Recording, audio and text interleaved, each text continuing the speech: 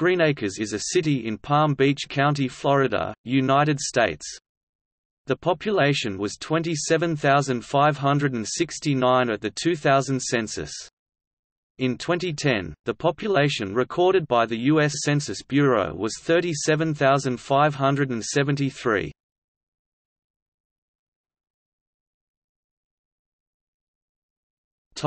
History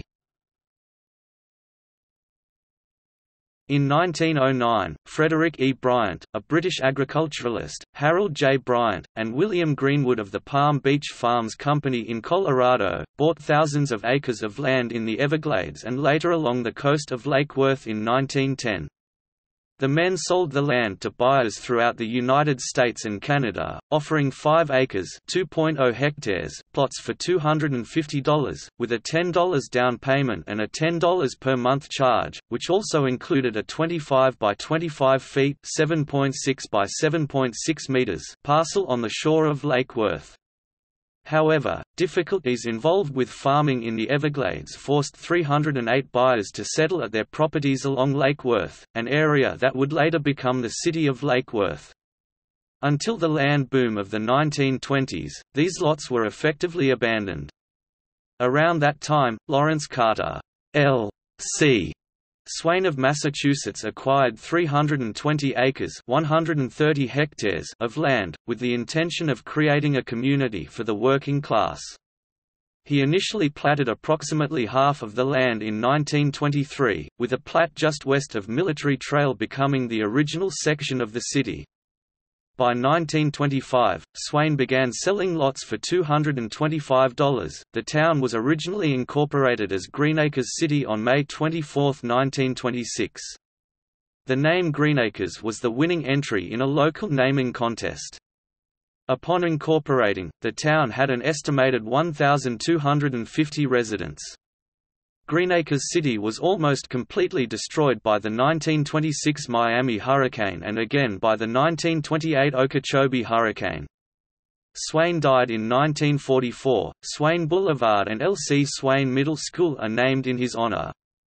In 1945, about 125 residents petitioned for the Florida legislature to abolish the Greenacres City as a municipality. The legislature passed a bill to disincorporate Greenacres City in April of that year, which became a law on April 24, 1945, without the signature of Governor Millard Caldwell. Then Mayor Charles A. Grabowski actively fought the new law, as no referendum to forfeit the town's charter had been held. Additionally, Grabowski accused a resident of starting the dissolution movement out of spite after being denied a homestead exemption and claimed that many of the signatories did not actually own property in Greenacres City. Grabowski also asserted that the pleas of city officials and a large number of residents in favor of remaining a town were ignored. On December 4, 1945, a meeting was held to reincorporate Greenacres City. A total of 86 out of 120 registered voters turned out, more than the two-thirds of voters quorum required. The 86 voters unanimously decided to reincorporate. The area's rights as a city were restored, while Greenacres City was officially reincorporated in 1947. Over the subsequent decades, Greenacres City eventually expanded to 6 square miles 16 square kilometers through annexation. In the 1960s, a City Hall complex was constructed at the intersection of Perry Avenue and 4th Street, while a community center was built nearby. The City Hall complex originally included a public library and all other city departments, except for the fire and public works departments. By the 1970s, full-time police and fire departments were established. In response to concerns about future growth, residents approved a bond referendum in 1984 to fund construction of a new city hall, a public safety complex, and recreational facilities. In 1990, about 60% of voters chose to drop the word city from the official name, thus renaming the municipality Greenacres. After the 1990 census indicated a population of 18,638, City Council authorized a special census in 1993, which added more than 3,000 additional residents to the official population count, making Greenacres eligible for funds from the state government of Florida. To commemorate the city's 80th anniversary, the Greenacres Historical Society was formed in 2006, with a museum established two years later. In July 2007, construction was completed on a new City Hall and Public Works facility on Melaleuca Lane.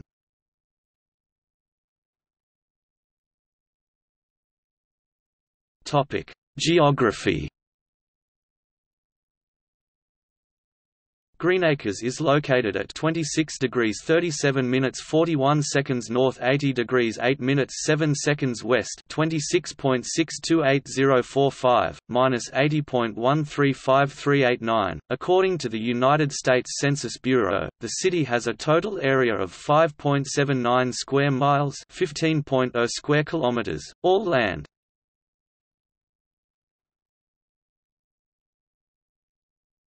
Topic Demographics As of 2010, there were 17,249 households out of which 16.6% were vacant. As of 2000, 24.5% had children under the age of 18 living with them, 45.9% were married couples living together, 12.5% had a female householder with no husband present, and 37.1% were non-families. 29.7% of all households were made up of individuals and 15.1% had someone living alone who was 65 years of age or older. The average household size was 2.29 and the average family size was 2.80. In 2000, 20.9% of the population were under the age of 18, 7.6% from 18 to 24, 28.5% from 25 to 44, 19.4% from 45 to 64, and 23.6% who were 65 years of age or older. The median age was 40 years. For every 100 females, there were 87.9 males. For every 100 females age 18 and over, there were 84.2 males. In 2000, the median household income was $36,941 and the median family income was $41,250. Males had a median income of $30,207 compared with $25,141 for females. The per capita income for the city was $19,298. About 5.0% of families and 7.2% of the population were below the poverty line, including 8.8% of those under age 18 and 6.5% of those age 65 or over. As of 2000, speakers of English as a first language accounted for 73.64% of all residents, while Spanish accounted for 21.02%, Italian for 1.69%, French Creole made up 1.09%, German was at 0.71%, and French was the mother tongue for 0.45% of the population. As of 2000, Greenacres had the 99th highest percentage of Cuban residents in the U.S., with 2.41% of the populace tied with Forest, Mississippi, and the 97th highest percentage of Colombian residents in the U.S., at 1.67% of the city's population.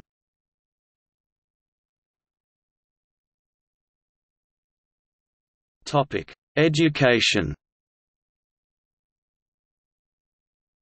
Public elementary schools Cholee Lake Elementary Diamond View Elementary Greenacres Elementary Heritage Elementary Liberty Park Elementary Forest Hill Elementary School Public Middle Schools L. C. Swain Middle School Okeechobee Middle School Tradewinds Middle School Public High School John I. Leonard High School